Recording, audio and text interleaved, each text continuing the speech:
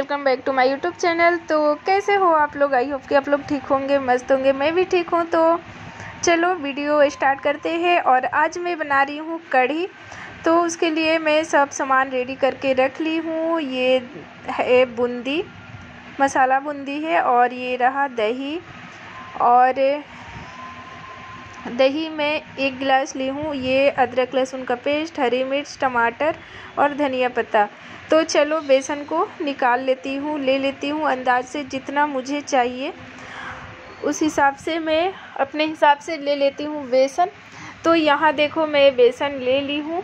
मतलब इसमें पाँच लोग एकदम अच्छे से खा लेंगे। मैं चार चम्मच ली हूँ बेसन और इसमें मैं डालूँगी थोड़ी सी लाल मिर्च पाउडर, आधी चम्मच तो ये तिखी वाली है, इसीलिए मैं आधी चम्मच डाली। और ये रहा हल्दी पाउडर। उसके बाद ये रहा दही। दही जो कि एक गिलास है मतलब ढाई सौ ग्राम दही है। तो पूरा दही मैं ले ली और इसको अच्छे से मिला लेना है। ये देखो दही बहुत अच्छी है, अमूल की दही है।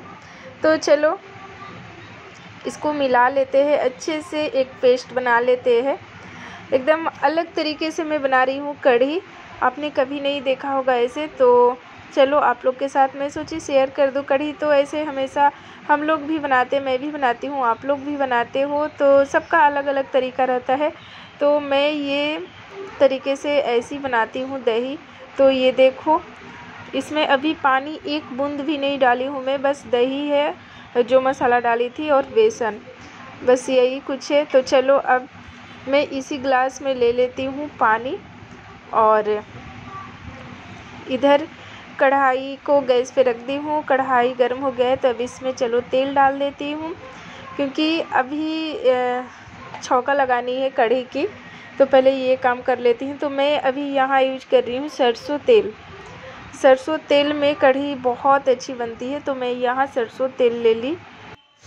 तो चलो, तेल को गर्म होने देते हैं, क्योंकि सरसों का तेल जब अच्छे से पक जाता है, तब उसमें जीरा डालते हैं, ठंडा में नहीं डालते तो ये देखो, तेल एकदम अच्छे से गर्म हो गया, और गैस को मैं कम कर दी हूँ, ताकि जीरा जले नहीं। और इसमें डाल दी मैं जीरा और तेज़पत्ता, और ये बड़ी इलायची, छोटी इलायची बाकी ज़्यादा कुछ नहीं डाली हूँ। और ये रहा टमाटर, अदरक, लहसुन के पेस्ट और हरी मिर्च। आप यहाँ चाहे तो सूखी लाल मिर्च भी डाल सकते हो और नहीं तो आप हरी मिर्च भी डाल सकते हो। मैं ज़्यादातर हरी मिर्च ही यूज़ करती हूँ, इसीलिए मैं हरी मिर्च डाली। और इसको भून लेना है अच्छे से। इसमें मैं डाल दी आधी चम्मच जीरा पाउडर, आधी चम्मच काली मिर्च पाउडर। तो इसको भी अच्छे से मिला लेनी है। ये देखो एकदम अच्छे से, और इसमें मैं प्याज नहीं डाली हूँ। इसमें लहसुन डाली हूँ। तो चलो, अब ये जो घोल है ना, पेस्ट है, जो बेसन और दही की पेस्ट बनाई थी, इसको अब पतला कर लेते हैं, इसमें पानी डाल देते हैं। तो चलो, इसको अच्छे से मिला लेना है। एकदम अच्छे से मिला लेना है ताकि एक भी इसमें वो होता है ना, फुटका ना रहे दाना दाना ना दिखे, बेसन हो तो ऐसे भी नहीं दिखेगा क्योंकि उसमें, उसको पहले से ही मैं पेस्ट बना कर रखी हूँ दही से तो उसमें एक भी दाना नहीं दिखेगा आप लोग को। ये देखो, एकदम अच्छे से इसको मिक्स कर लेना है, पानी के अंदर अच्छे से मिला लेना अभी मुझे लग रहा है कि बहुत गाढ़ा है और पकेगा तो और भी गाढ़ा होगा तो इसमें और पानी डालूँगी मैं। ये देखो, पानी डाल दी और इसमें अभी डाल दी मैं नमक। नमक आप अपने स्वाद अनुसार डाल सकते हो। तो नमक डाल के मिला दी और चलो, अभी मसाला भी रेडी हो गया है तो इसमें अभी डाल दी मैं। और कलर थोड़ा वाइट जैसा दिख रहा है क्योंकि फ्लैश लाइट जलाई हूँ ना तो उसके वजह से थोड़ा कलर दिख रहा है। वैसे सामने से एकदम येल्लो है कढ़ी। सामने से ज़्यादा ही अच्छा लग रहा है। पता ना, मोबाइल से ऐसे क्यों आता है? कलर ही चेंज हो जाता है बिल्कुल भी। तो कलर को इग्नोर करना आप लोग। तो चलो ये देखो, काफ़ी अच्छा लग रहा है और ये जो कढ़ी है ना, बहुत अच्छी लगती है और टेस्टी भी होती है और मसाला भी कम रहता है, प्याज भी नहीं रहता इसमें और खाने में बहुत अच्छी लगती है। वो जो लहसुन रहता है ना, उसी का टेस्ट आता है मतलब बहुत अच्छी लगती है कढ़ी। तो आप लोग भी एक बार ज़रूर ट्राई करना और ये देखो, कढ़ी पक गई है तो इसमें अब पानी डालेंगे।